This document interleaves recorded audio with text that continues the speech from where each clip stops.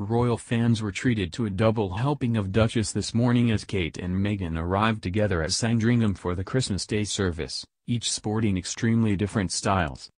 Side by side, Kate the Duchess of Cambridge, 36, and Meghan, the Duchess of Sussex, 37, appeared to have put their reported differences aside as they strode toward the church with their husbands. However, their choice of outfit could not have been further apart with Kate going for a classic look and Meghan choosing chic, dressed in items from Victoria Beckham's clothing line.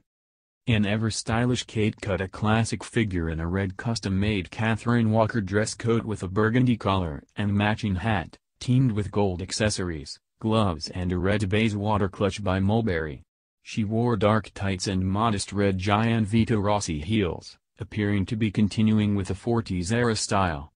Recently the Duchess has appeared in A-line coats, shoulder jackets and mid-length skirts as she leads the pack for royal fashion. The pregnant Duchess of Sussex however, opted for a much more modern outfit. The Duchess who came in on Prince Harry's arm chose to go chic in dark colors and high-heeled black boots. She wore a double-breasted tailored 2,250 pounds coat from the VB line, as well as a pair of boots by David Beckham's wife. The stylish Duchess also carried a 1,200 pounds powder box bag by the Spice Girl turned designer. However, she was matched perfectly with her husband who wore a lighter shade of blue. The Beckhams attended the wedding of the Duke and Duchess in May. The former Suits actress who married Prince Harry in May also wore black, calf-high boots over a dark dress, coat and matching hat with dark blue feathers protruding from it. The Duchess of Sussex may have a lot to learn from Prince William's wife who has become a style icon. Kate's clothes fly off shelves of stores whenever she wears them. Recently, she has opted for 40s and 50s style, and the fashion world is lapping it up.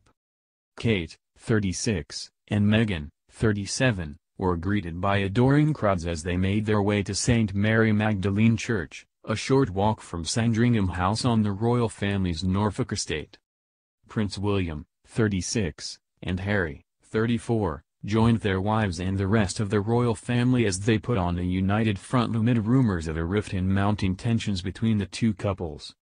It was confirmed earlier this month that the Fab Four were going to spend Christmas Day together despite claims of a falling out.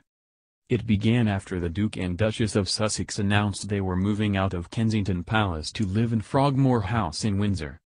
There were also reports of a falling out between Meghan and Kate during Princess Charlotte's bridesmaid dress fitting before the royal wedding earlier this year.